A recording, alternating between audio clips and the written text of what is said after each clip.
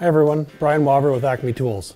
We've been contacting our manufacturers to see if they can send us new and innovative products. We're going to take a look and see what's in the box.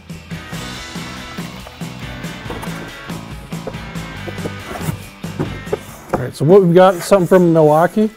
We've got their 2866-20 cordless uh, drywall gun that we've all seen before, but here's what's new. This is the 49-20-001 collated magazine attachment.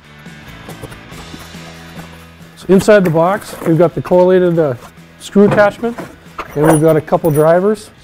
Just from the outshoot, taking a look at this, we can uh, run a few different size screws, um, anywhere from uh, one inch to two inch.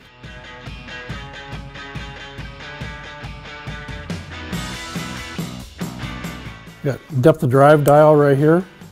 We've got, um, depending on what length screw you have, there's a little knob on the front here. We're gonna move that over. We can adjust our foot plate out. So if we're running a two inch screw, you can move this all the way out. It's gonna get you the right depth. Now, from what I understand, any brand of strip screws will work. Um, let's get these feet up and in here. From what I can tell, we're gonna be moving up through the bottom underneath and then we'll slowly feed these up until we're in a position. Let's see how that does.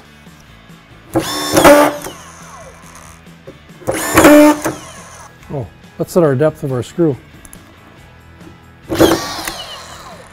There we go, getting closer. There we go, right where it needs to be. Now just to see how it feeds, we'll knock off probably four or five screws just to get a good feel for it.